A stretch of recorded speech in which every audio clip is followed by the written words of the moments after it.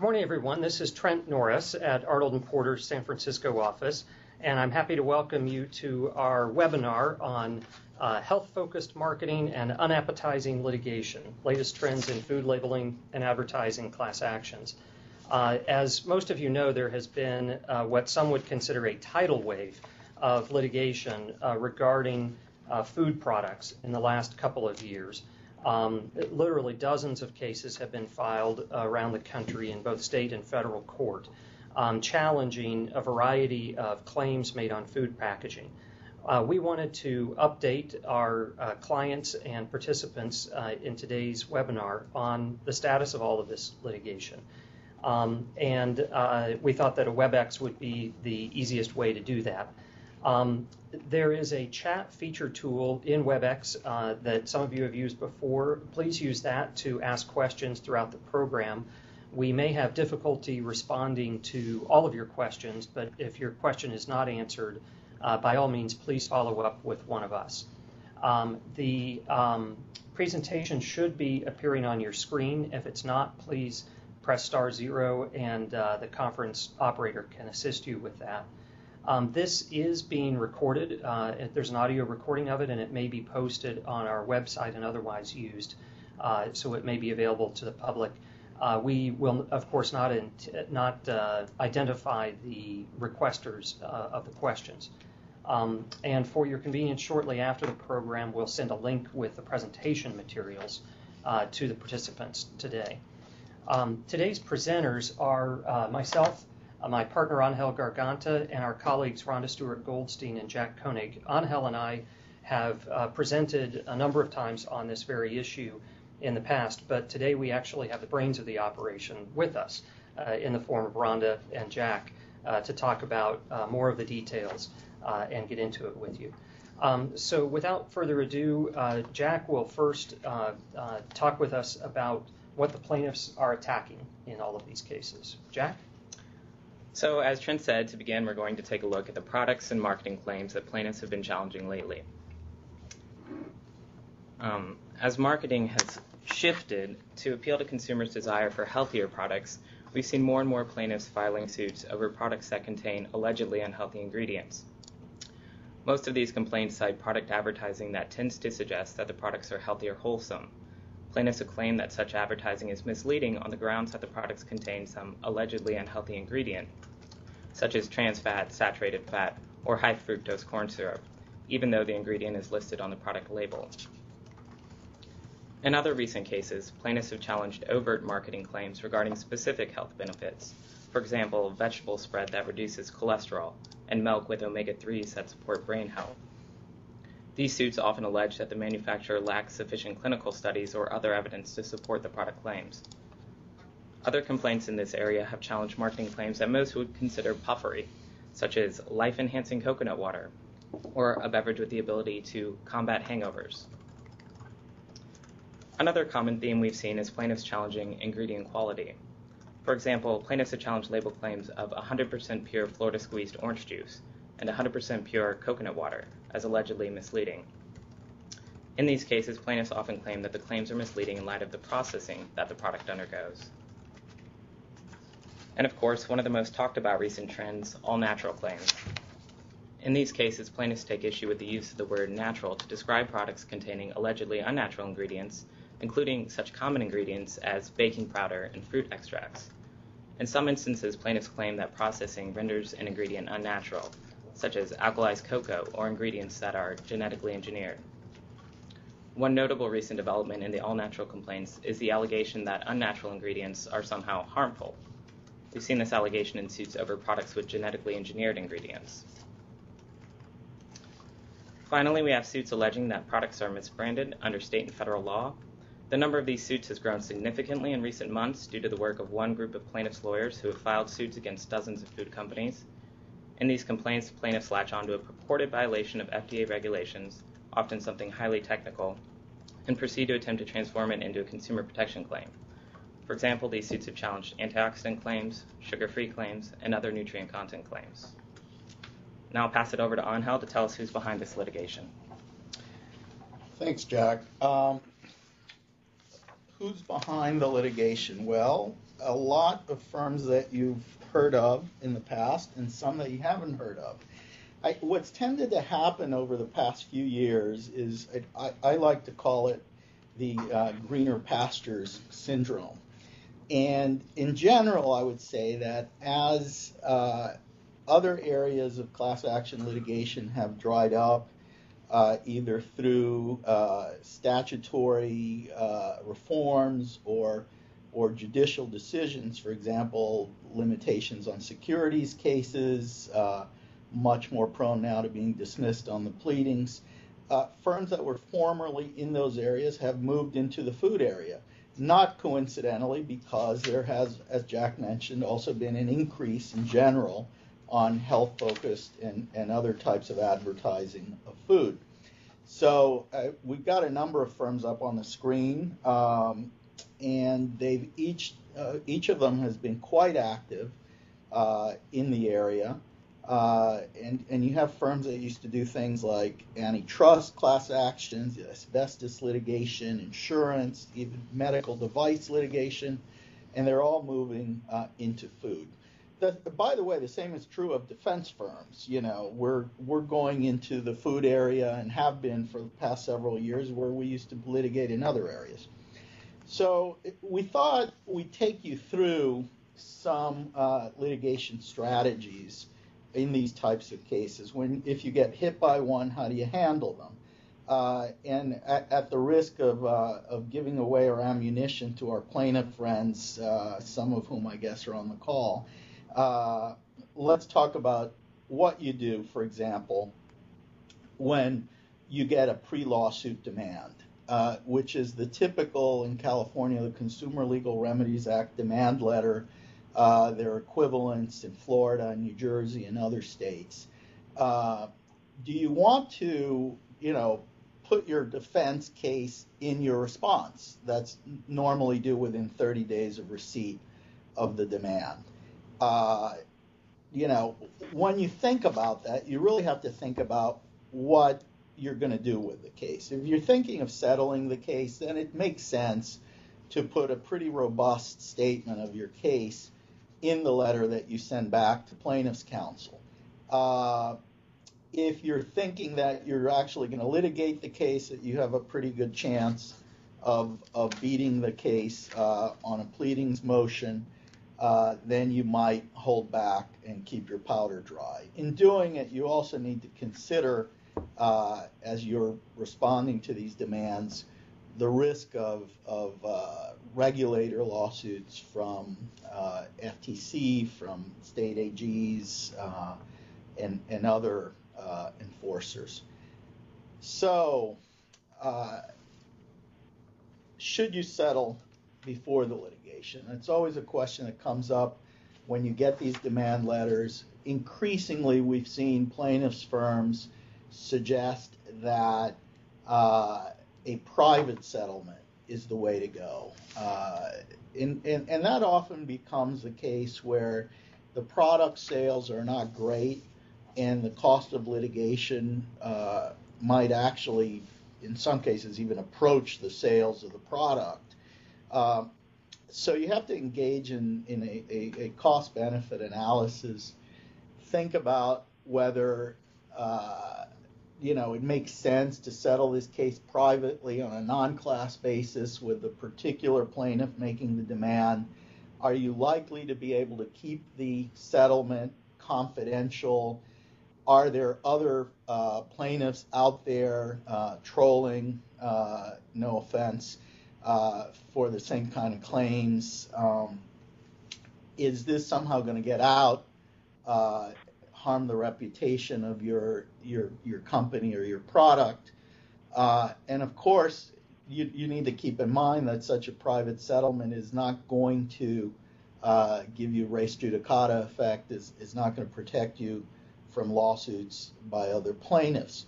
In doing all of this, naturally, you need to consider uh, your chances of success uh, down the road.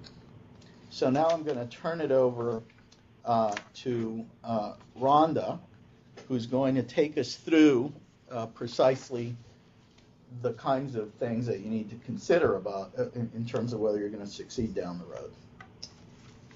Great. So, assuming you haven't settled um, prior to the prior to the complaint being filed, um, the next question will be whether you want to move to dismiss the complaint or go ahead and file your answer.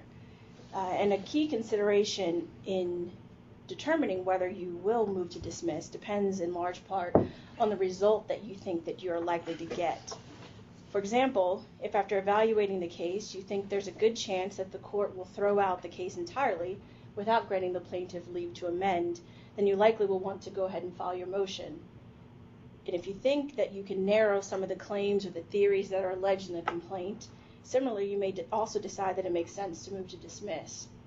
However, if the chances are good that the court will simply give the plaintiff leave to amend, you may not want to file the motion, as that will simply give the plaintiff an opportunity to fix the errors in the complaint and possibly weaken the potential arguments that you could have brought on class certification or at the summary judgment stage.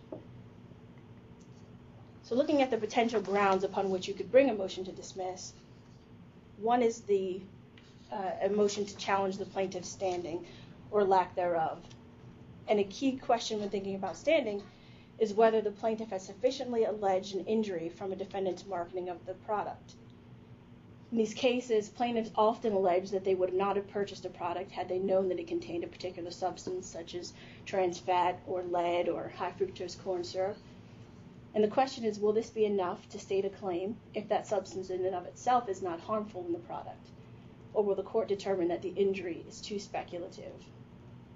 So in order to answer that question, let's step back and take a look at standing more generally. In federal court, plaintiffs must satisfy the requirements of Article 3 standing, which means that they must demonstrate a case or controversy between the parties. The key part of that is showing a concrete and particularized injury that the court can address. In addition, the plaintiff will also be required to satisfy the particular standing requirements of the state consumer protection law under which they sue, and the requirements of those, stat- those statutes vary from state to state. However, some of the relevant questions under those statutes involve whether the plaintiff actually relied on the statement at issue, whether that reliance was reasonable, and whether the statement actually caused the plaintiff to purchase the product.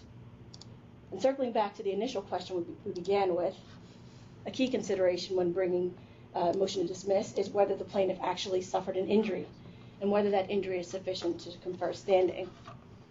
We'll take a look at a few cases that deal specifically with this issue.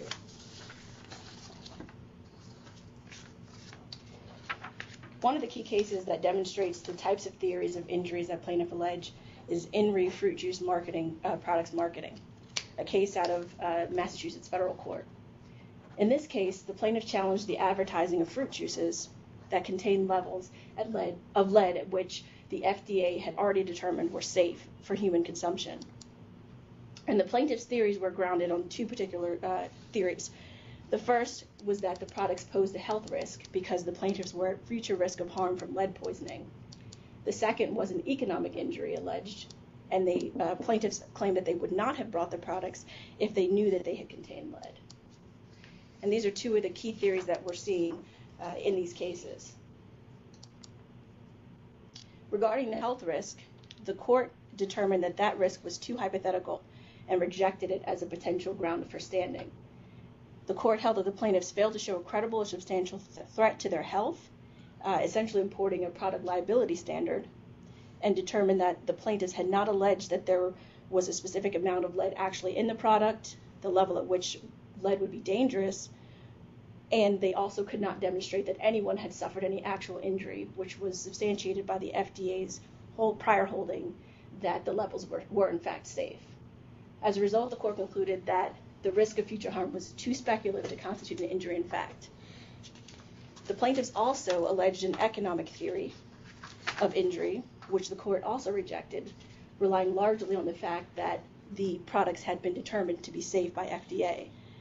As a result, the products were not valueless, as the plaintiffs claim, or unsuitable for human consumption. The court held that the plaintiffs got the benefit of their bargain they paid for fruit juice, and that is what they got, with no harm to themselves. As a result, the court concluded that the plaintiffs did not have standing. However, we do see cases that hold the opposite. So it's a very risky area of law. For example, in the Askin versus Quaker Oats case, which involved uh, granola bars and uh, allegations that the, plaint- that the plaintiff made that the bars had trans fats in them, the court declined to analyze standing based on the future health concern, although the plaintiff claimed that he would not have purchased them had he known of the alleged health risks. In this case, the court focused not necessarily on the health risk, but the economic injury that the plaintiff alleged. And in this case, the court held that the economic injury was enough. The plaintiff alleged that he would not have purchased the products and that he paid more for them than he would have had he known that they contained trans fat, even though it was less than 0.5 grams of trans fat. The plaintiff uh, alleged that he wanted to avoid trans fats, and the court found that this was enough, even if it wasn't the trans fats were not harmful. So the court held that the price differential represents a concrete injury in fact, even though there was no physical harm from the product. And this just demonstrates that courts have held both ways on these issues. So it may not be enough to allege that the plaintiff simply purchased the product and paid money for it. The court could come out either way on that claim. No, a couple of other potential grounds for bringing a motion to dismiss is that the plaintiffs have failed to state a plausible claim or to state that claim with particularity. And these requirements tee off of the Federal Rules of Civil Procedure, in particular Rule 8, which uh, typically has required only notice pleading or a short, concise statement of the claim to put defendant on notice of the allegations. And prior to a couple of recent Supreme Court rulings in Iqbal and Twombly, that only required that the claim that the complaint state a conceivable theory of liability. However, in these cases, the Supreme Court elevated that to a plausibility standard, meaning that it's not enough to simply recite legal conclusions, but the plaintiff must plead facts allowing a reasonable inference that the defendant acted unlawfully. Similarly, under Rule 9b, plaintiff must state fraud, state fraud with particularity. And the state consumer protection laws courts have held sound in fraud. Hence, these requirements will apply. As a result, the complaint must state the who, what, when, where, and how of the misconduct charged. A recent case that illustrates this point is In re Wesson Oil, which came out of the Central District of California. In that case, the plaintiff alleged that cooking oil, Wesson cooking oil, was not 100% natural due to the presence of genetically modified organisms.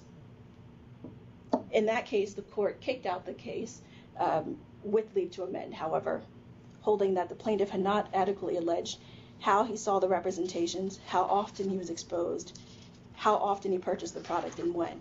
As a result, it did not afford the defendant an adequate opportunity to respond to the complaint.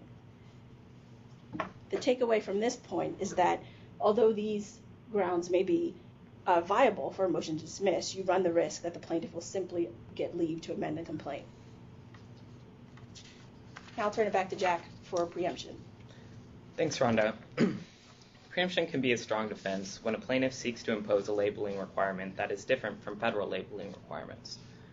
In the food context, the defense tends to be successful only when there is an existing federal regulation governing, governing the specific labeling statement at issue. This slide lists a few examples of cases in which defendants successfully asserted a preemption defense to defeat some or all claims. In Turek, Judge Posner reason, recently concluded that federal law preempted a plaintiff's claim alleging that the marketing of fiber bars was misleading and that the bars did not disclose that the fiber came from chicory root. Posner concluded that the plaintiff's claim was preempted because FDA regulations set requirements for the labeling of dietary fiber, and those requirements do not include a disclosure of the source of fiber. Similarly, in the Wesson case, the court dismissed a portion of the complaint, demanding that ConAgra provide a disclosure of genetically engineered ingredients in Wesson oil. Because the FDA has thoroughly regulated the manner in which ingredients must be listed, and identification of genetically engineered ingredients is not required, plaintiff was attempting to impose a requirement not identical to federal law. Therefore, the court concluded that plaintiff's demand was preempted. Kraft also successfully asserted a preemption defense to win dismissal of claims challenging percent fat-free statements on its deli meats. Kraft's label statements complied with USDA regulations, which, express, which expressly govern when a product can make a percent fat-free claim. the product labels had also been approved by the USDA. Thus, the court concluded that any state law claim, based on the contention that the labels are false or misleading, was preempted by both the regulation and the label approval process. While the foregoing cases show effective preemption defenses, it is important to understand the limitations of the defense. Remember that preemption tends to be successful only when plaintiff's claim is based on a labeling statement or omission in an area governed by an existing federal law. Generally, federal policy is not enough. So, for example, we've seen courts hold that claims over an all natural statement are not preempted because the FDA has consistently refused to define the term natural in regulations, even though the agency has provided a definition in a non binding policy statement. The seminal case on this point is Holk v. Snapple. We've also listed the Wesson Oil case here again to demonstrate the limitations of the preemption defense. As we saw in the last slide, plaintiff could not require ConAgra to describe an ingredient as from a genetically engineered source because FDA thoroughly regulates ingredient labeling. However, the court allowed plaintiff's challenge to the Wesson all natural statement to stand because FDA has not regulated the use of the term natural. More recently, we've seen defendants argue that claims based on alleged violations of FDA regulation should be preempted because the FDCA expressly preempts private enforcement. A number of courts have rejected this argument where a complaint cites to a state law that is uh, identical to federal labeling requirements, as in Dela Cruz v. Cytosport. Most federal food regulations permit identical state laws, thus, plaintiffs have avoided the ban on private enforcement by bringing claims based on these identical state laws. Plaintiffs are likely to make these arguments in California because of the California Supreme Court decision in the farm raised salmon cases, holding that the FDCA does not preempt private enforcement of identical state laws, such as California's Sherman Law. One promising trend we have seen lately is limited preemption of certain natural claims that are made in conjunction with another, with another labeling statement that is governed by federal law. For example, in Hairston v. South Beach, a federal judge in California recently dismissed with prejudice a suit challenging labeling statements on Sobe Lifewater beverages. The plaintiff had challenged an all natural with vitamins claim, fruit names used to describe the product's flavoring, and the description of the vitamins by their common names. Because the vitamin claims and the fruit claims were regulated by FDA, the court held that the private claims were preempted. The court went one step further to rule that plaintiff's challenge of the all natural statement alone was no longer viable because the claim would rest on a single out of context phrase in one part of the label. Another recent decision demonstrates the distinction between the types of natural claims that are likely to be preempted and those that are not. In Astiana v. Dreyer's, the court ruled that an all natural flavors claim was preempted by federal regulations governing artificial flavorings, while a more general all natural claim was not preempted because no federal regulation governs the use of the term natural. So, as these cases demonstrate, in some senses, it is actually better to be subject to more federal regulation, as compliance with federal regulations can be used as a shield against consumer suits. Jack, uh, let me ask you a question about preemption.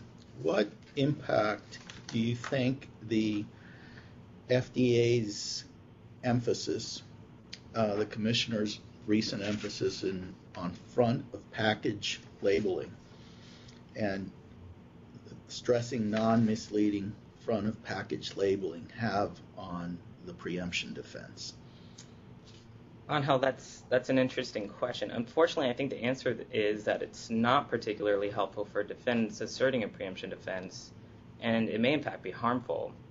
The reason is that uh, a simple policy statement, like the FDA commissioner's open letter to industry um, on on food labeling, is not a binding regulation, and therefore it's not subject or it's not likely to preempt a consumer claim. What it will do, however, is give plaintiffs some material to show that the FDA thinks that a particular labeling statement is misleading, and that therefore the court should too. Uh, the trouble is, where FDA has not set out a clear regulation that industry can conform to, uh, compliance with FDA policy can be sort of a moving target. Uh, and there's kind of a reduced incentive to adhere to such policies when doing so doesn't guarantee protection from consumer claims. And another example of that, I guess, is the all natural policy, the FDA's informal all That's natural right. policy. That's right. And as we just saw, a number of courts have, have held that that won't be given preempted effect. Okay. So why don't you tell us about primary jurisdiction? Sure. Uh, Related to preemption is the doctrine of primary jurisdiction, and pursuant to this doctrine, courts may, under appropriate circumstances, stay or dismiss a case on the grounds that the initial decision making responsibility should be performed by the relevant agency rather than the courts.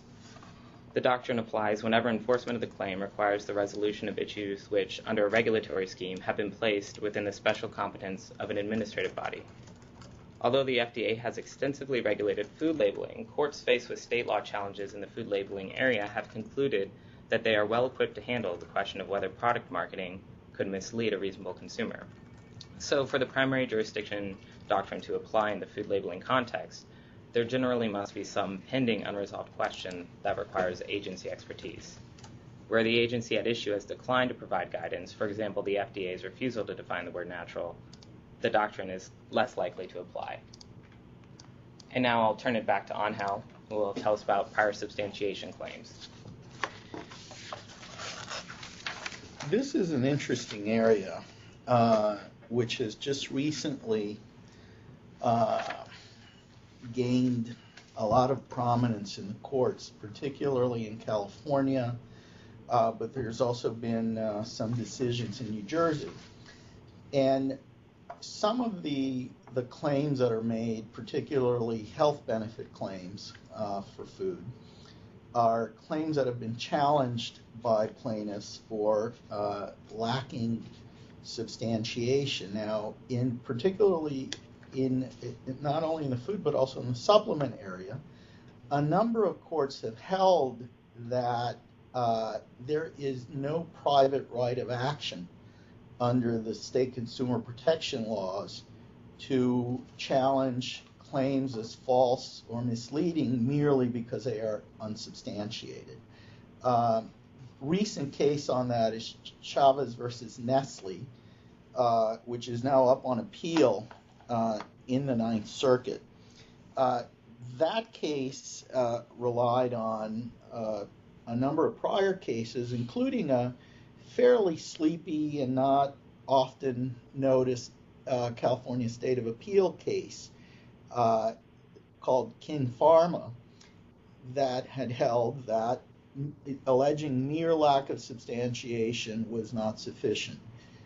So what's happening now is that uh, in response to these cases, and there's another one, the one I mentioned in New Jersey is called Franulovic uh, versus Coca-Cola.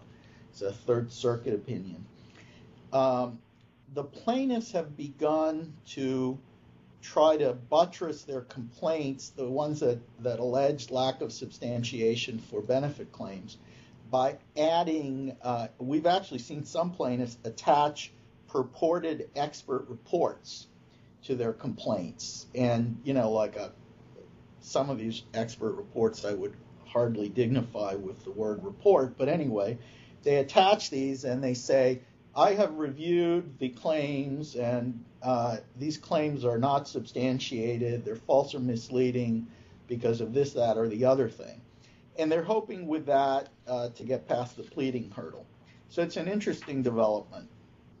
Um, another development in food cases that is, I think, promising, although it's certainly not going to dispose of cases entirely, uh, is that uh, several courts have dismissed uh, Magnuson Moss warranty claims uh, on the ground that uh, food claims are merely product uh, descriptions that didn't constitute warranties. So if you look at the Magnuson Moss Act, what it says is that you, you warrant that a product is defect free or will meet a specified uh, performance level over a specified period of time. That's what the statute says, 15 USC 2301. And the courts looking in particular at all natural claims have said, wait a minute, it's not defective for a product to be quote unquote synthetic or artificial, uh, supposedly non natural. In fact, supposedly the, the allegedly synthetic ingredients were added purposely, not accidentally. So it's not a defect, it, it's an intentional component of the product. And there's no specified performance over a specified period of time. So on those grounds, uh, quite a few of these uh, breach of warranty claims have been dismissed. Uh, Trent's going to talk to us now about summary judgment. So, um, uh, assuming that you've uh, gotten through the pleading stage of the case and you've tried Iqbal and Twombly and you've tried preemption and you've tried primary jurisdiction um, and uh, you've been able to perhaps narrow the claims by knocking out uh, a couple of items that the court has considered preempted. Um, assuming that there are still some claims that remain, uh, you often face then a strategic question. Um, it used to be that class certification was the next stage of the case, and in a sort of paint by numbers approach uh, to litigation, that's exactly where you would go, as we were all taught in civil procedure class. Um, but lately, there has been a real trend towards bringing motions on the merits, summary judgment motions, and accelerating them uh, ahead of class cert or simultaneously with class cert.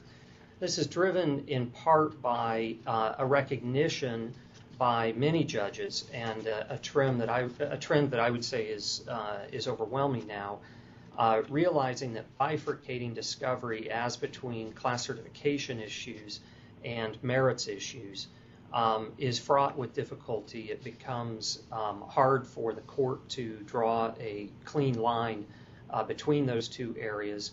Um, and although uh, defendants typically want real limits on discovery, um, and the hope is that, uh, for instance, by putting classification first, you would limit discovery to a more narrow set of issues.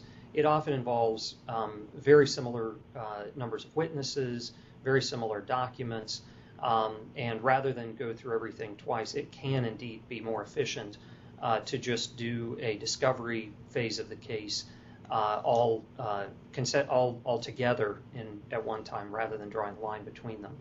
Um, and that's prompted, of course, many clients to say, well, if we're going to have full discovery on the merits, why don't we bring motions on the merits as well?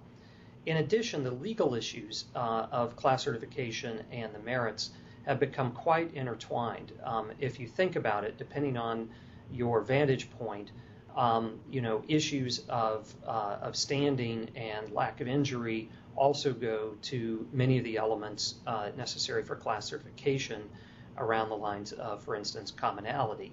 Um, and so the uh, so there are often real synergies in making these motions simultaneously, or even putting the merits motion ahead of the of the uh, class certification motion.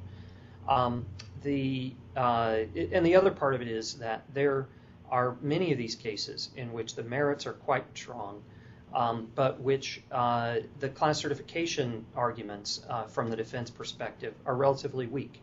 Um, uh, it's a product that uh, perhaps has been marketed quite wa- quite widely um, on very similar terms to similar people.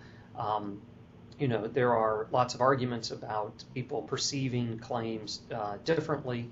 Uh, there are courts who will glide right past those issues, however, and go ahead with um, with a certification.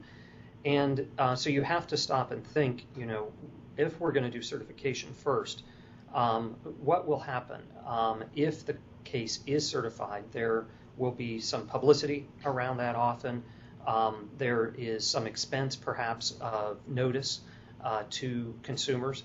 Um, that can be shifted to the plaintiffs, um, but it's highly discretionary. Um, and uh, there's not a solid trend on those issues in the courts. Um, and the risk of the case goes way up, um, and business people start to perceive the risk differently after a class is certified. This is why plaintiffs, of course, would like the class to be certified first because the settlement value of the case goes way up at that point.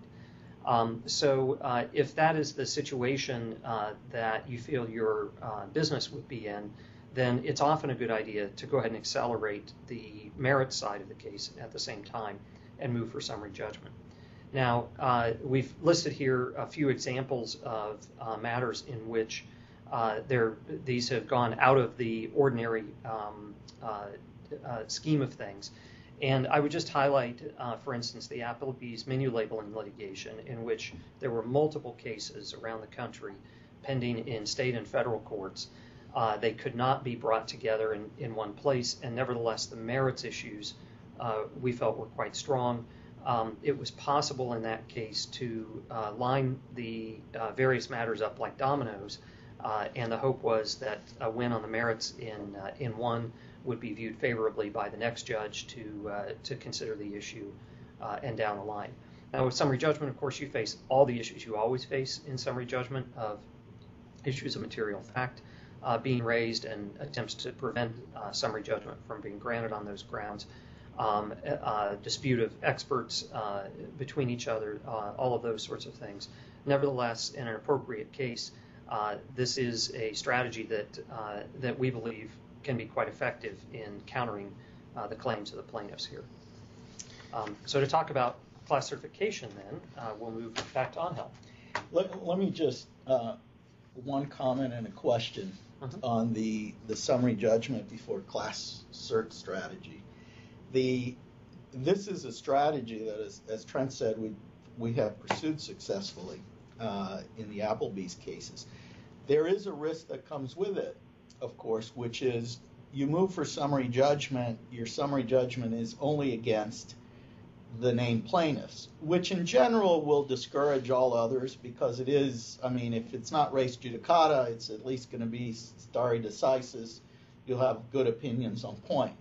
The downside is you'd better have a really strong case, like we did in Applebee's, uh, because if you don't, uh, the loss is going to be binding on you too, and then you're you, you know that's obviously going to be a problem if a class is certified down the road.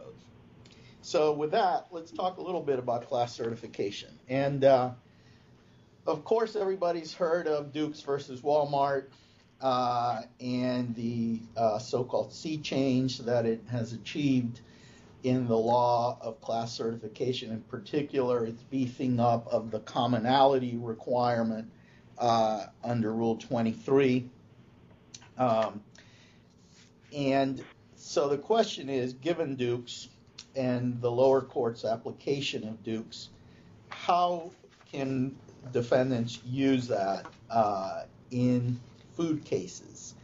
Uh, just a couple of key statements from Dukes to remind you of what it stands for. Uh, that plaintiffs must demonstrate that their claims depend on a common contention that is capable of class wide resolution and what the court really means by that is that you need to be able to resolve a central issue in one stroke, or as it put it, it put it in a different way, that there must be not only common questions, but questions that will generate common answers. Uh, and the court also imposed a higher standard of actually coming forward with facts at the class certification stage. In fact, continuing that trend, there's now a case up on uh, the, the, the, court has granted uh, cert in a Comcast case that involves damages and what showing needs to be made with respect to damages at the class certification stage. Look out for that case because my prediction is it's going to continue the trend that we saw in Dukes. So, with application to food cases, what does Dukes mean for food cases? And I would suggest that you're going to have the strongest uh, opposition to class certification in food cases when you're talking about a, a, a complaint that challenges claims about several aspects of a product, differently worded claims, variation in advertising or prominence of claims over time, uh, different products involved, uh, characteristics of the product varied over time. So in a way, you know, the the your creative marketing department that's wanting to change the packaging uh, every season is good on class certification. Uh, the, the strategy is, and we have used it successfully in, in, a, in some cases and seen others do it, is to come forward with a declaration that's just loaded with different packaging and, and if the def- if the plaintiffs actually focus their complaints, as they often do, on the entire line of a, a manufacturer's products that have a particular ingredient or make a particular type of claim, then that's actually good for you on class cert. It, it's an interesting phenomenon that sometimes plaintiffs in the race to the courthouse can't resist having their you know their representative plaintiff who may have bought one product try to sue on every product. Uh, and that also, of course, creates standing and typicality issues on class cert. Uh, here's a couple of examples of a, a defendant win on this issue and a plaintiff win. In the Red versus Kraft case, which was before Judge Wu down in the Central District, and it, anybody who's appeared before Judge Wu knows that he is very careful on class cert and goes through the record uh, minutely. Um, this case involved six different products, and ultimately it went through a bunch of rounds. The plaintiffs tried to amend their their class cert motion by alleging subclasses as to each product, but in the end, the the court denied class certification with prejudice on on an interesting issue, which was damages. And as it says here, the proof of what purchases were made of what products, where and when, in order to determine class member damages is simply too individualized. On the other side, in the Johnson versus uh, General Mills case, which involved uh, YoPlus uh, yogurt and the the general allegation that YoPlus promote, promotes uh, digestive health in a way that ordinary yogurt does not. Um, the court said that the the alleged injury uh, stemmed from a common core of facts because that campaign, that digestive health campaign, had little or no variation. Uh, there was a persistent and a material message, and so the court certified the class. Um, let me mention another point, uh, a, a, very, I think, very significant recent development particularly in the Ninth Circuit, but also in other circuits, we're seeing it as well, is the the increasing tendency of uh, courts to certify nationwide classes on the ground that there are simply too many variances in state laws, state consumer protection laws, uh, which result in a lack of common issues and a lack of predominance. And this is the type of case where a plaintiff will file suit under the law of one state, say California, and want to apply it uh, to the entire nation. Um, the, the, in the Ninth Circuit in Mazza, this is not a food case, but it has been followed in some food cases, uh, held that uh, you simply couldn't do that. And moreover, in that particular case, and this does resonate in the food context, the class would also include members who weren't exposed to the message or wouldn't have relied on the particular message challenged. And again, that is uh, quite helpful where you have a lot of different variation in packaging and advertising over time. Um, as I said, the Mazza has been followed in a couple of food cases that I, we have here, and more than a couple. But recent decision by Judge Carter uh, down in the uh, Central District of California in Orange County um, declined to uh, follow Mazza and decertify a class, a national class that had been uh, certified under California law, uh, on the ground that uh, you really have to look at the circumstances of the particular case, and given the particular issues in that case, the the defendants had not come forward with sufficient evidence that there were conflicts in the state's various state laws to preclude a nationwide class. Uh, so if you're a defendant and you, you want to hit a nationwide class hard, you'd better do your homework and come forward with the actual, you know, what are the material differences between, say, California and New York law or California, Massachusetts, or whatever states you might find some differences in. Um, all right. So let's say uh, you know, you don't you you defeat class certification while the case is over, but what if you lose it, or what if you think you're going to lose it? Then uh, one question, and you're not going to be able to get summary judgment along the lines that Trent mentioned. Uh, how do you settle a case? And uh, that's what it comes down to uh, dollars. Uh, how do you satisfy the plaintiffs and their counsel and move on? Um, and what do you have to think about in crafting a settlement, in working up a settlement that is not only going to be approved, uh, but you know that's not going to later be reversed on appeal, which we're seeing increasingly now. Uh, various considerations. Should it be nationwide or should it be statewide?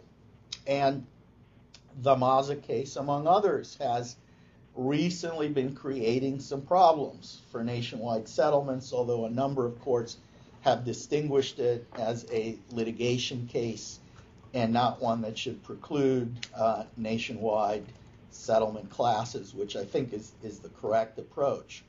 Is the relief to the class adequate? Uh, are the attorney's fees appropriate? Uh, is your settlement going to whet the appetites of not so much the FTC, but possibly some of the state the state AGs who may already be looking at the issue. Um, couple of examples here uh, in the food area. Here's a settlement that was recently approved in the Southern District of California, and it was a uh, in the Nutella litigation. Uh, which basically challenged the claim that uh, Nutella is part of a nutritious breakfast. And what Nutella meant was that, you know, if you use the spread, you'll get your kids to eat other good stuff. And the plaintiff said, well, this is loaded with sugar. How can that be nutritious? Um, they did not get, in this particular California case, they didn't get a nationwide class certified, but they did have a, a California class certified. And there was also a companion case in New Jersey, which is uh, not mentioned here, uh, where there was a larger uh, settlement, but it, that hasn't yet been approved. So, what's interesting about this case is the court uh, preliminarily approved a settlement that's awarding over a million dollars in attorney's fees and costs, while the fund that the class gets is only $550,000. So there's a little bit of a, a disjunction here, uh, and it remains to be seen what's going to happen with that settlement down the line. Um, the, the New Jersey settlement has a similar uh, dynamic. I say this in particular in light of the Ninth Circuit's uh, recent opinion a couple of weeks ago in the Kellogg case. Uh, which essentially set aside a $10.6 million class settlement uh, involving the marketing of Kellogg's cereals as being healthy or nutritious. And the Ninth Circuit uh, rejected two things. One was the cy pres charity, which was, well, there wasn't a specific cy pres recipient identified to begin with. What there was was a, an agreement to distribute food to charities that feed the needy and subject to later identification and approval by the, the district court.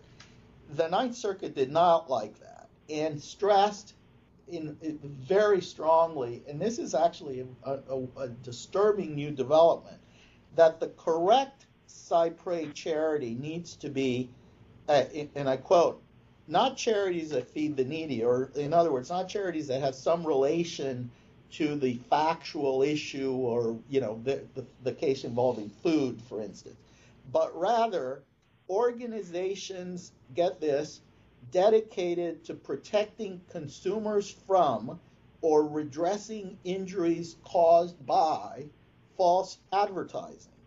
So the Ninth Circuit's definition of a cy pres in a false advertising case is now, after this case, a pro-consumer advocacy organization. Wouldn't you just love to donate money to those guys? Uh, I say this to our clients, not necessarily to some of the other folks on the call. Um, the court, and here's a here's something the plaintiffs aren't going to like. The court also held that the settlement was no good because the $2 million award of attorney's fees, which represented 19% of the overall settlement value, below the 25% benchmark that the Ninth Circuit normally applies, was excessive since the settlement would only provide $2.75 million to cover consumer claims. So it, it looked at the Lodestar and said, these guys are getting $2,100 an hour. Uh, and we don't care how good they were, they're not getting this. So look out for settlements. This continues a trend that the Ninth Circuit started uh, in with the Bluetooth case that came out about uh, eight months ago, uh, and you got to be really careful settling cases. So Trent's now going to wrap it up. So uh, I sent a note out. We're nearing the end of the formal presentation, so if you have questions, please send them in via the web chat feature. Um, the takeaway points here, um, we have uh, four major areas uh, to address. One is obviously the importance of matching your marketing claims to what your research and development folks tell you about the product. When you're making any sort of factual claim uh, for the product, it may look like puffery to you, and you may have, in fact, an argument that it's puffery. Uh, but the literal connotation of the claim will often be read by a court um, as uh, being something that's very important, particularly on a motion to dismiss or some other motion that does not refer to, to factual issues. Um, obviously, a very important part of it.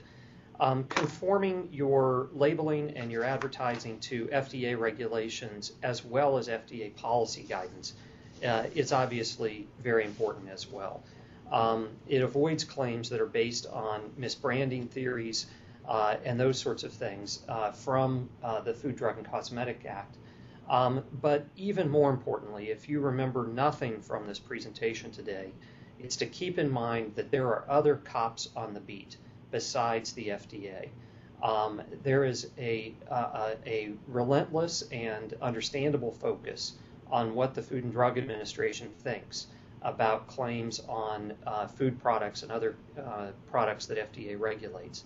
Uh, but they are not the sole arbiter of whether uh, these claims are indeed legal or whether individuals have been uh, defrauded based on the claims um, it is very important to think beyond FDA. FDA has a lot of other priorities. Um, food is not their highest uh, for the most part. Um, they also, uh, and, and so their enforcement uh, is uh, not particularly consistent. They have lots of informal guidance that they have issued in the form of warning letters, in the form of informal policies. These are not necessarily helpful to industry um, and often are used against uh, uh, defendants in these cases, as Angel mentioned earlier. Um, the uh, preemptive effect of the Food, Drug, and Cosmetic Act and uh, and of FDA's uh, prior actions is uh, more limited than it is often believed by food companies. Um, and the courts have increasingly whittled away from that in looking very closely at the details looking at uh, conflict preemption uh, and looking at express preemption. Um, and in very rare circumstances have we ever seen FDA reach out and say something helpful uh, to a food company that finds itself in a, a, lawsuit. They typically want nothing to do with it. Um, and then, even more importantly, there are entire areas in which there is no FDA regulation as a practical matter. Uh, the term natural being a very good example of that. Um, and it's a very fact based determination as to what it means to be natural. One of the questions uh, that we've received so far um, asks whether there's any guidance uh, on using the word natural uh, on product labeling. Um, and, uh, you know, I think uh, it is clearly a flag for litigation. Um, the plaintiff's lawyers uh, need to do nothing than go to their local supermarket, and walk down the aisle and identify the products with the word natural on them and uh, identify some plausible disconnect between that term and, for instance, the ingredient list or the way in which the product uh, surely must have been processed um, in order for them to uh, make out a plausible claim. And that claim may indeed survive a motion to dismiss, um, which puts you into uh, expensive litigation and discovery and, and the like. Um, so the, the term natural, um, I think uh, the best advice we can give is to ask your uh, marketing folks and your business people um, how worthwhile that term really is. Do they really believe uh, that it's going to sell more product, uh, lead to more share, give you more shelf space with your retailers, and those sorts of things? Um, a, very common dynamic in these cases, and I'm sure many on the call have experienced this as well, is uh, the marketing department will, uh, will, will fight the legal department in order to get a claim on the label. Um, and then once the lawsuit begins, uh, the marketing department's nowhere to be found in terms of how important that particular claim is to sales of the product, um, and uh, often willing to give it up or modify it in a way that uh, the legal department may have advised them earlier. So, if nothing else, perhaps this uh, this parade of cases um, may provide legal departments with some uh, ammunition in those uh, conversations and the, the natural tension that occurs between the marketers and the uh, and the lawyers. Um, the third uh, issue here, Angel has mentioned already, the var- that variance in advertising and labeling increases the difficulty for the plaintiffs to achieve um, uh, class certification and also to plead their complaint with particularity, also to find indeed representative plaintiffs that uh, represent each of the variations, the, the, or I guess I would say the material variations in the packaging um, that uh, that your product may represent over a long period of time.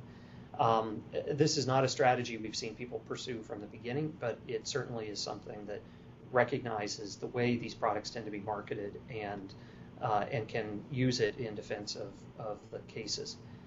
And then finally, um, it's very important uh, in these cases to litigate them strategically. There can be a great deal at risk uh, in these cases uh, monetarily. Um, that amount um, can increase through the course of the litigation. And so uh, it is critical to consider very early on in the case um, what is the overall uh, strength of uh, your defenses, uh, what are the um, options that you have to actually defend against yourself, what's the likelihood that you'll succeed in some of these, where is this case headed, how important uh, are these claims to you?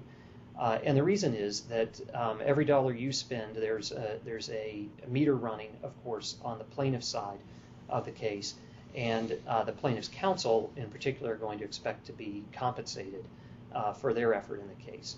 So um, the, the time to think about the merits of the case is right at the outset, uh, and not to uh, blithely go down the path of litigating a variety of options. Um, before you really uh, get the business people, for instance, to focus on the case and, and where it's going. Another reason for this is the, the trend that we've discussed here of courts being extraordinarily skeptical of settlements in these cases.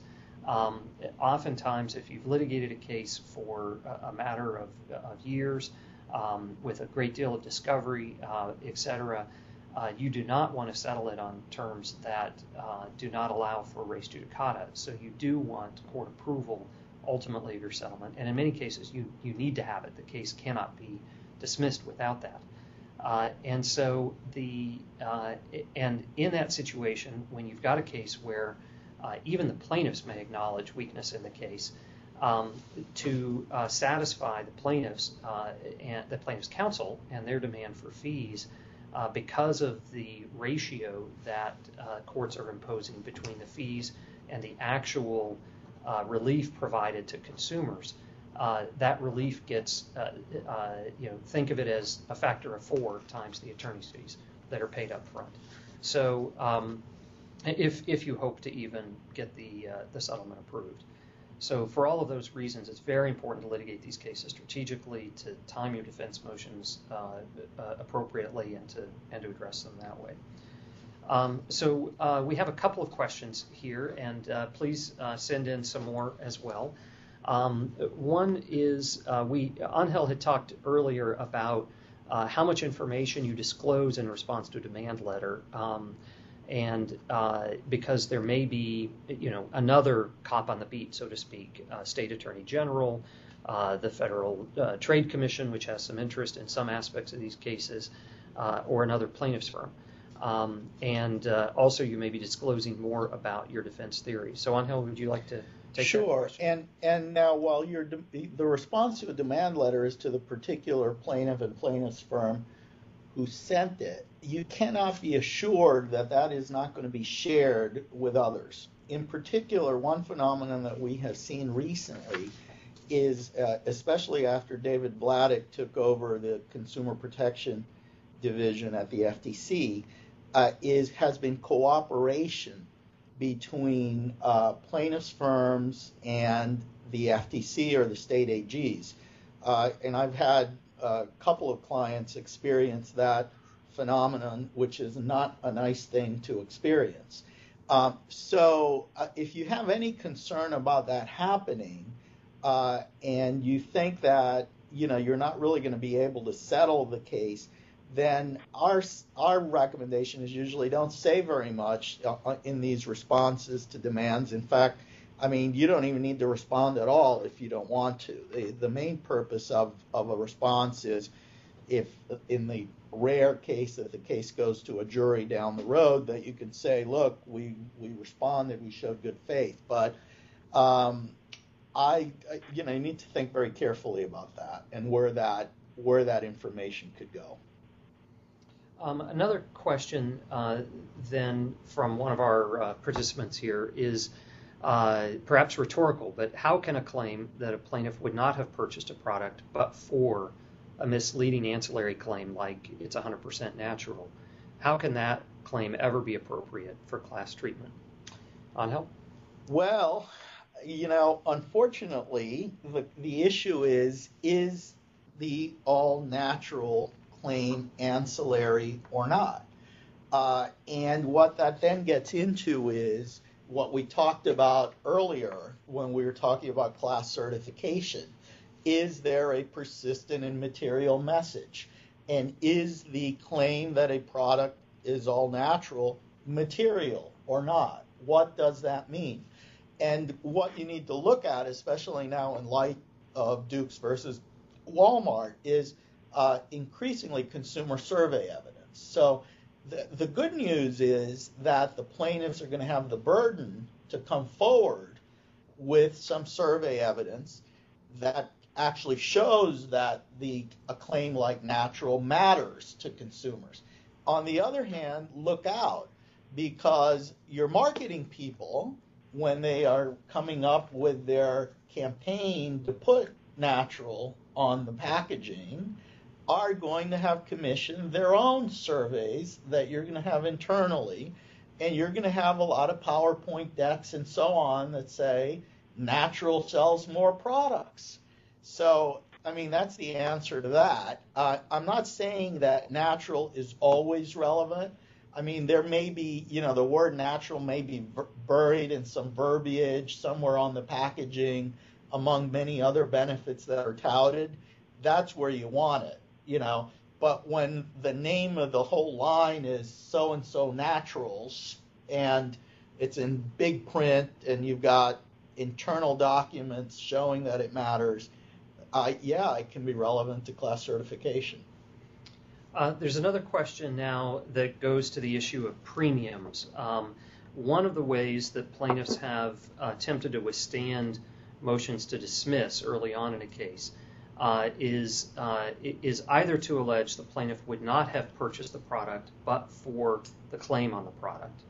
Um, and you can imagine courts uh, being uh, sympathetic sometimes to that line of reasoning if you think about claims like kosher, which may not reflect anything about the intrinsic qualities of the product, but say something about its processing, or dolphin safe on tuna, for instance. Um, and so there is some case law that supports uh, uh, that theory. But then, in addition, plaintiffs uh, have also started alleging that they paid a premium for the product uh, based on the particular labeling on the product. And maybe Angel, you could talk uh, about what have courts looked at uh, in the in the cases where there is a premium that's been alleged. Um, th- this is one area where I would say the uh, the the merits uh, do overlap with class certification because and and to some extent standing because here you're talking about uh, is it even possible for a plaintiff to show that they indeed paid a premium for the uh, for the actual product um, there. So, Angel, do you want to address that? Uh, actually, we had a we had a a slide up earlier when we were talking about summary judgment, which was the Snapple ruling in New York. You just passed it up right there. Uh, Weiner versus Snapple, and uh, what let me start out by saying that very few courts have actually ruled on what the actual measure of damages is in these types of cases. There's a lot of broader case law, for example, under the California Consumer Protection uh, laws, uh, the, the, unfair competition law, that says that uh, you're only entitled to so-called restitutionary uh, disgorgement, if any disgorgement. And in turn, you have courts that have said restitutionary disgorgement means the difference between what you paid and the value that you received. Okay? So, this case, Weiner, which was not under the California consumer protection laws, but similar analysis under New York law, basically held that the plaintiffs hadn't presented any evidence that they paid a premium for the all natural uh, representation. In other words, they didn't show that had they bought some other tea that didn't say all natural, that would have cost them any less. So therefore, there wasn't any damage because you bought tea, you got tea. Um, so there's been a few rulings on that. Um, it is, I think, what the premium theory is all about, and the reason that the plaintiffs often allege the payment of a premium is because, in general, the courts have come to the common sense recognition that when you buy food, you're getting value for your money. You're getting food. You ate something, it was nutritious or whatever. Uh, so what? How exactly were you damaged by this false, allegedly false representation? I've seen very few courts take the position that n- you wouldn't have bought the product at all, and therefore you have to get all your money back. I mean, that's not something that judges have done. But keep in mind also that many of these cases have ultimately settled. So the ultimate question of damages is not one that has frequently been litigated all the way through. What you have seen in rare cases like Weiner versus Snapple, you get a ruling that says there's no evidence here. But what you've more often seen is suggestions by courts on motions to dismiss where it's not yet ripe that you know there may not be enough here. And I in, hope that kind of answers the question. And and in the issue of whether to go to the merits uh, before or simultaneously with class cert, um, this can be a productive uh, route of attack because you can um, hire economists and marketing experts who can often look at the product and its competitors uh, in the space and make um, quite a plausible showing that indeed there was no premium paid for the claim uh, that's on the product. It's obviously difficult to analyze down to that level as to an individual claim on a product, but differences in packaging, differences in distribution channels, differences in um, the quality level of the product, and other advertising and brand recognition that go along with the product um, really create uh, a lot of issues that make it difficult for plaintiffs to come forward uh, as they could not in the Snapple case, um, and show that they have evidence uh, that would allow them to prove that theory. Um, this ties into another question that was asked about whether a preemptive motion for class certification is sometimes a good idea. Um, the, uh, the, the rule is that uh, in federal court you can indeed, as a defendant, uh, force a motion for class cert by, in effect, moving that a class cannot be certified, and uh, that uh, often will take a an unprepared plaintiff by surprise. Um, it is to a great extent a tactical um, uh, move, as opposed to one that that I think you know ultimately leads to success. But it is a timing move, and it often uh, relates then to accelerating discovery and focusing it in on the issues that would be raised in that sort of a motion. Another uh, question that we have is um, is about mediation in these sorts of cases and whether there's a value in mediating early, uh, perhaps with one individual plaintiff as opposed to an entire group of plaintiffs. Um, the uh, I think mediation goes in the category of one of the takeaway points, which is focus on the merits of your case early on and whether there might be a way out of the case early. Um, and mediation is, is often a useful way to flush out what the issues are in the case and to gain a better understanding of uh, what your strengths and weaknesses are. Um, it's also, uh, in our experience, been extremely helpful to use a mediator who typically is a retired federal judge, often in that locale, or uh, there are a few who have a more national reputation. Um, because uh, if in fact you do achieve a settlement, the fact that your mediator uh, was uh, was someone who has sat on the bench before and who may know the other uh, judges that you're presenting this to uh, can be extremely persuasive to them that indeed this was an arm's length negotiation and that the relevant factors were considered etc. Um, Angel, do you want to uh, talk about the benefits of uh, attempting to reach a settlement, for instance, with one set of plaintiffs' lawyers as opposed to another? Many of these cases end up like a rugby scrum with a number of plaintiffs' lawyers jumping on, on the uh, defendant at the same time.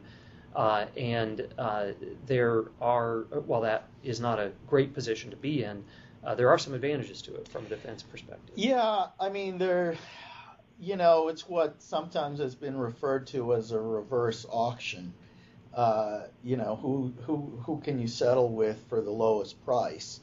Um, you got to be careful with that though, because when you have a bunch of competing plaintiffs firms uh, and you reach a settlement only with one of them, uh, what that guarantees you is that you're going to have objectors to your settlement down the line and objectors who are informed and can come to the court and say, hey, you know, we have already, uh, you know, we've been looking at this case and this is not a good settlement for the following reasons.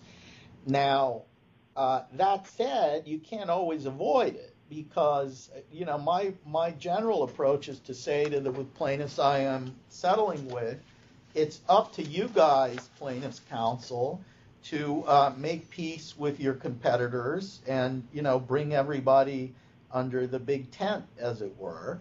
Uh, and they're not always able to do that. So, uh, and particularly in these days of increased court scrutiny of class action settlements, uh, you're going to get objectors no matter what. So, um, I you know, it really depends on the case. In some cases, if you feel that you have a good settlement, that you've got plaintiffs' lawyers who are going to stand up for it and get it uh, preliminarily and finally approved, then you go with it, even though there's some others out there uh, who are not going to come in. And and I might say, you know, some some plaintiffs' counsel are just not very reasonable. So if you can't settle with them, you know, so be it. So uh, are, if there are no more questions, then I think we'll wrap up. Um, I think we've responded to everyone's questions here so far. Um, we will uh, be circulating a link to the materials uh, that the, the, PowerPoint here. You all should have received the uh, the PDF ebook uh, previously of the materials that we circulated in advance of this. That in, includes our uh, food class action update uh, which we send out periodically on cases that have been filed and developments uh, in those cases. And if you'd like to be placed on that list, by all means, uh, please let us know, and we'd be happy to circulate those uh, to you in the future as well. So thank you uh, very much for your participation in this. We hope that it's been useful. Uh, you have our contact information, and feel free to follow up with um, with any of us on the various issues that we covered today. Uh, thanks again, and um, as they used to say on Hill Street Blues, be careful out there. In these cases, plaintiffs often allege that they would not have purchased a product had they known that it contained a particular substance, such as trans fat or lead or high fructose corn syrup. And the question is, will this be enough to state a claim if that substance in and of itself is not harmful in the product? Or will the court determine that the injury is too speculative? So in order to answer that question, let's step back and take a look at standing more generally. In federal court, plaintiffs must satisfy the requirements of Article 3 standing, which means that they must demonstrate a case or controversy between the parties. The key part of that is showing a concrete and particularized injury that the court can address.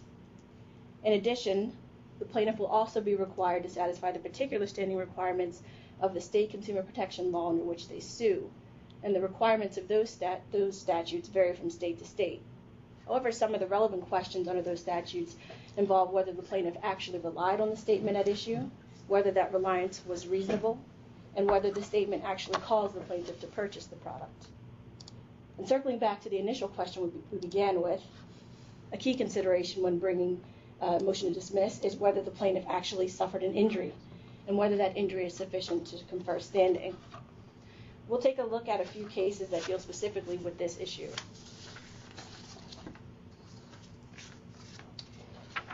One of the key cases that demonstrates the types of theories of injuries that plaintiff allege is In re fruit juice marketing uh, products marketing, a case out of uh, Massachusetts federal court. In this case, the plaintiff challenged the advertising of fruit juices that contained levels lead, of lead at which the FDA had already determined were safe for human consumption. And the plaintiff's theories were grounded on two particular uh, theories. The first was that the products posed a health risk because the plaintiffs were at future risk of harm from lead poisoning. The second was an economic injury alleged, and the uh, plaintiffs claimed that they would not have brought the products if they knew that they had contained lead. And these are two of the key theories that we're seeing uh, in these cases. Regarding the health risk, the court determined that that risk was too hypothetical and rejected it as a potential ground for standing. The court held that the plaintiffs failed to show a credible or substantial th- threat to their health, uh, essentially importing a product liability standard, and determined that the plaintiffs had not alleged that there was a specific amount of lead actually in the product, the level at which lead would be dangerous, and they also could not demonstrate that anyone had suffered any actual injury, which was substantiated by the FDA's whole prior holding that the levels were, were in fact safe. As a result, the court concluded that. Not coincidentally, because there has, as Jack mentioned, also been an increase in general on health focused and, and other types of advertising of food. So uh, we've got a number of firms up on the screen, um, and they've each uh, each of them has been quite active uh, in the area. Uh, and, and you have firms that used to do things like antitrust class actions, asbestos litigation, insurance, even medical device litigation, and they're all moving uh, into food. The, by the way, the same is true of defense firms. You know, we're we're going into the food area and have been for the past several years, where we used to litigate in other areas. So we thought we'd take you through some uh, litigation strategies in these types of cases. When if you get hit by one, how do you handle them? Uh, and at, at, the risk of, uh, of giving away our ammunition to our plaintiff friends, uh, some of whom I guess are on the call, uh, let's talk about what you do, for example, when you get a pre lawsuit demand. Uh, which is the typical in California, the Consumer Legal Remedies Act demand letter. Uh, their equivalents in Florida and New Jersey and other states. Uh, do you want to, you know, put your defense case in your response? That's normally due within 30 days of receipt of the demand. Uh, you know, when you think about that, you really have to think about what you're going to do with the case. If you're thinking of settling the case, then it makes sense to put a pretty robust statement of your case in the letter that you send back to plaintiff's counsel. Uh, if you're thinking that you're actually going to litigate the case, that you have a pretty good chance of, of beating the case uh, on a pleadings motion, uh, then you might hold back and keep your powder dry. In doing it, you also need to consider, uh, as you're responding to these demands, the risk of, of uh, regulator lawsuits from uh, FTC, from state AGs, uh, and, and other uh, enforcers. So, uh, should you settle before the litigation? It's always a question that comes up when you get these demand letters. Increasingly, we've seen plaintiffs' firms suggest that uh, a private settlement is the way to go. Uh, and, and, and that often becomes the case where the product sales are It's corn syrup, even though the ingredient is listed on the product label. In other recent cases, plaintiffs have challenged overt marketing claims regarding specific health benefits. For example, vegetable spread that reduces cholesterol and milk with omega 3s that support brain health. These suits often allege that the manufacturer lacks sufficient clinical studies or other evidence to support the product claims.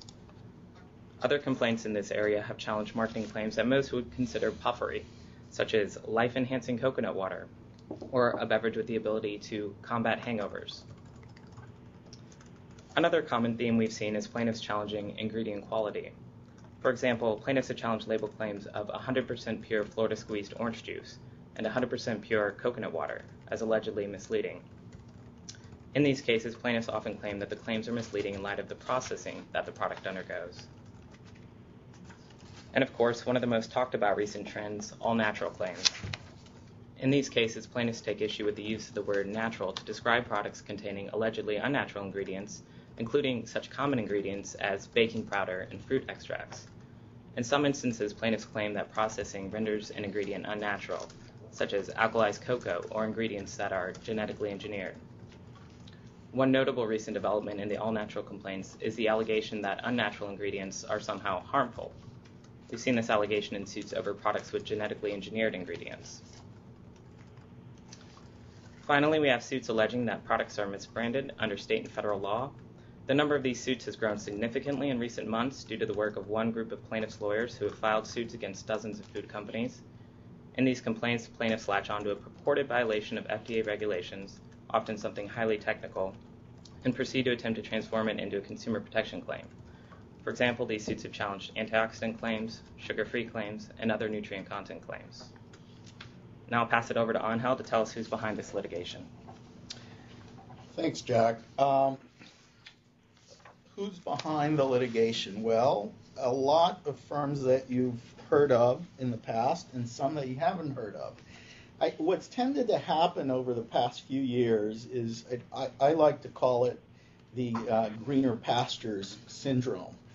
And in general, I would say that as uh, other areas of class action litigation have dried up, uh, either through uh, statutory uh, reforms or or judicial decisions, for example, limitations on securities cases, uh, much more prone now to being dismissed on the pleadings. Uh, firms that were formerly in those areas have moved into the food area. Good morning, everyone. This is Trent Norris at Arnold and Porter's San Francisco office, and I'm happy to welcome you to our webinar on uh, health-focused marketing and unappetizing litigation, latest trends in food labeling and advertising class actions. Uh, as most of you know, there has been uh, what some would consider a tidal wave of litigation uh, regarding uh, food products in the last couple of years.